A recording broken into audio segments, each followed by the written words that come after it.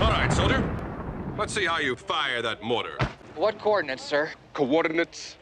Yes, sir. They determine... Uh, soldier, the Army has spent a lot of money teaching you how to fire that thing. Now set it, then fire it. Sir, we don't know... The only way to learn anything is to do it. Now fire the weapon.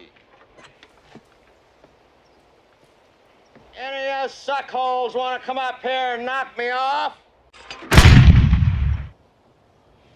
Oh, shit. Incoming!